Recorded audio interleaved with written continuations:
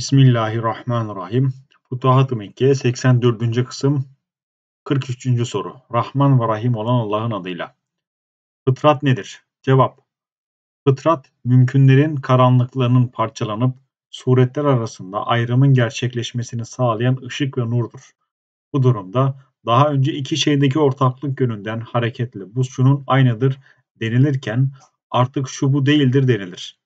Gökleri ve yeri parçalayan yani Fatır fıtratın sahibi Allah'a hamdolsun ayeti Allah göklerin ve yerin nurudur ayetiyle aynı kapsama gider. Tüm alem gök ve yerdir. Başka bir şey değildir ve nur ile zuhur etmişlerdir. Başka bir ayette ise onu hak ile indirdik, hak ile indi denilir. Gökler ve yeri Allah ishar ettiği gibi dolayısıyla onların nurudur. Öyleyse mazharların zuhuru Allah'ın kendisidir. Binaenaleyh Allah gökleri ve yeri yarandır, yani yaratandır. Böylelikle göğü ve yeri nuruyla ishar etmiştir, yani yarmıştır. Öyleyse Allah göklerin ve yerin fıtratıdır. Fıtrat, insanların üzerinde yaratıldığı şeydir. Her doğan fıtrat üzerinde doğar. Ben sizin Rabbiniz değil miyim? Onlar da evet dediler.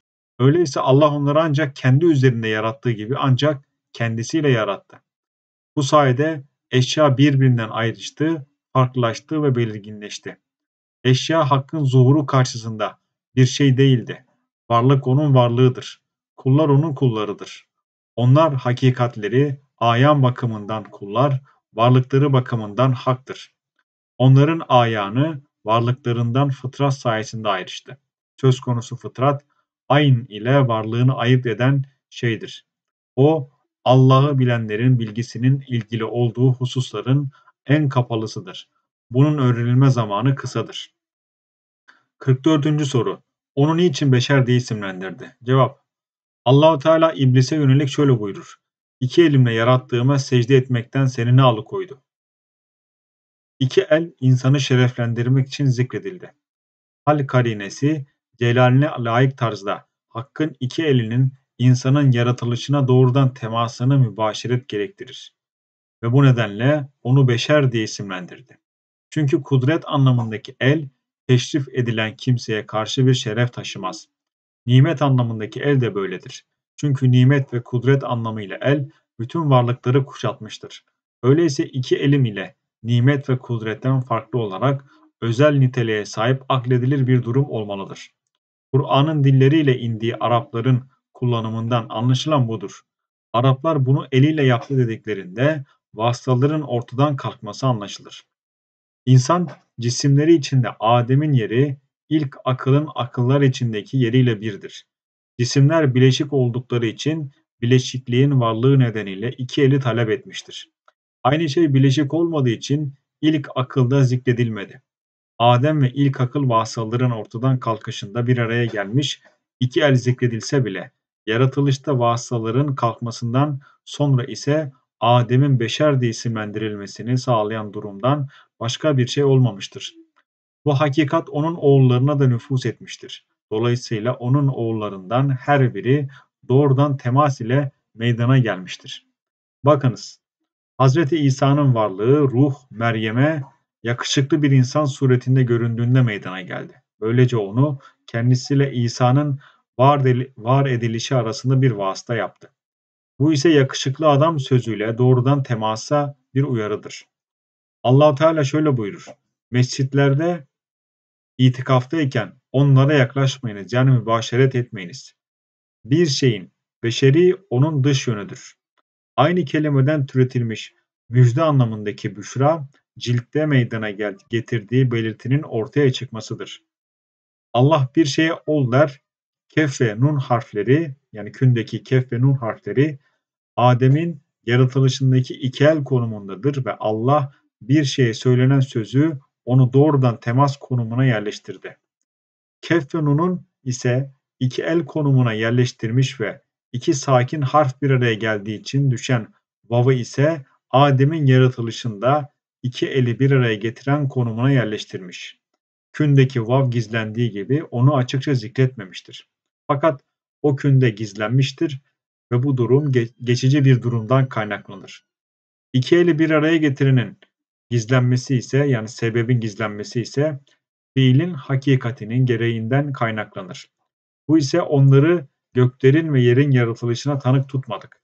Ayetine işaret eder. Söz konusu olan fiil halidir. Çünkü Allah'ın dışındaki hakikatlerde bu tanıklığı verebilecek kimse yoktur. Öyleyse Allah'tan başka kimsenin fiili olmadığı gibi varlıkta ihtiyari olarak gerçekleşen bir fiil de yoktur. Alemde bilinen bütün ihtiyari ya ihtiyari eylemler cebirden kaynaklanır. Dolayısıyla herkes ihtiyar ve seçiminde mecburdur. Gerçek fiilde ise bir zorlama olmadığı gibi ihtiyar da yoktur. Çünkü onun onu zat gerektirir. Bu meseleyi iyice öğren.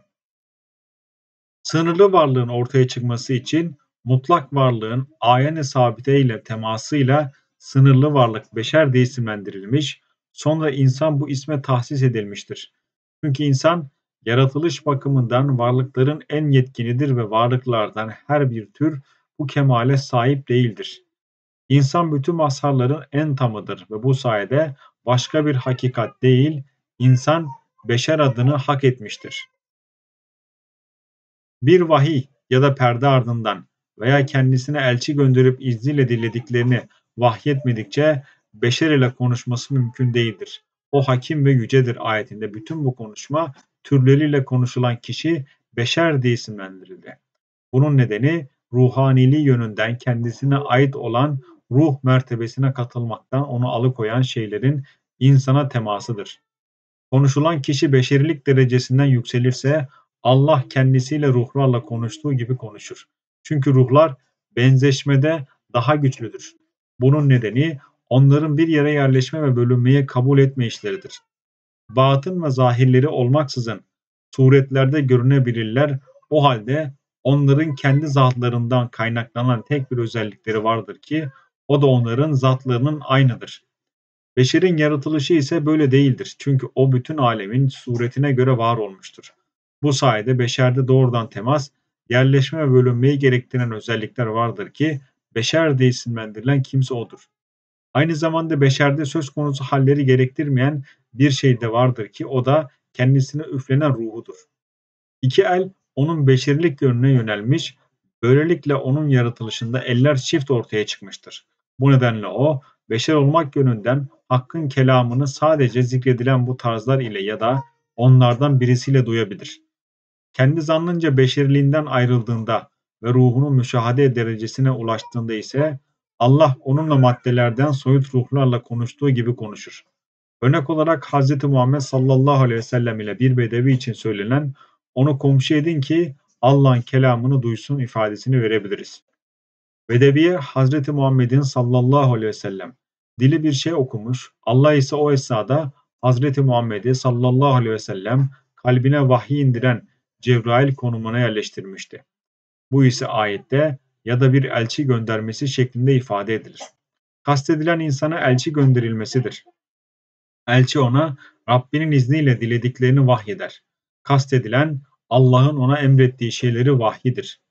Ancak vahiy olarak konuşur. Ayetinde ise bir alametle birlikte ilham kastedilmiştir. Söz konusu alamet sayesinde Rabbinin kendisiyle konuştuğunu öğrenir ve bu sayede gerçeği karıştırmaz ya da bir perde ardından. Burada ise harfler ya da sesler perdesiyle insana sesini duyurmaya amaçlar. Nitekim Bedevi okunan Allah kelamını böyle duymuştu. Kastedilen dinleyenin kulak perdesi olabileceği gibi genel anlamda beşerilik perdesi de olabilir. Allah Musa ile Tur'un sağ yanındaki mübarek bir ağaçta ''Ey Musa ben Allah olanım'' diye konuştuğu gibi bu kişiyle de eşya içinde konuşur. Musa beşeriliğinin gerektirdiği ateş aramayla ilgilendiği için konuşmada yön ve sınır belirlenmiş, muhtaç olduğu şeyde Musa'ya nida edilmiştir. Hak insanların Allah'a muhtaç olduğunu söylemiş. Allah'tan başkasına ihtiyaç duyulmasına karşı duyulan ilahi kıskançlık nedeniyle Allah ayette muhtaç olunan her şey diye isimlendirilmiştir. Böylelikle Allah Musa'ya ihtiyacının suretinde tecelli etmiştir. İhtiyacına geldiğinde ise ihtiyaçtan yani ateşten kendisine nida etmiştir. Böylelikle gerçekte Musa Allah'a muhtaç idi. Perde ise tecellinin kendisine gerçekleştiği suret vasıtasıyla ortaya çıkmıştı. Allah ona muhtaç olduğu şey yönünden nida etmeseydi Musa onu tanıyamayacaktı. Ahirette de ilahi tecelli ki inkara maruz kalacaktır, böyle bir şekilde gerçekleşecektir. O alidir yani yücedir. Yani zikrettiği ve konumlarına yerleştirdiğin mertebelerin gereğini bilendir. Hakimdir. Menzilini bildiği şeyi indirmek kastedilir. İş değişseydi ondan da aciz kalmazdı. Fakat onun ali ve hakim olması işin olduğu gibi gerçekleşmesini gerektirir. Allah peygamberine beşeriliği talep eden bütün mertebeleri haber verdiğinde ona işte böyle yani bu şekilde sana emrimizden bir ruh vahyettik buyurdu. Yani vahyi senin kalbine indiren ruhu vahyettik. Söz konusu olan ruhul kuds başka bir ifadeyle beşer sınırlılığından münezzeh ruhtur. Burada Arapçaya göre bu lafzın gereğiyle beşer ifadesiyle neyin kastedildiğini açıklamış olduk.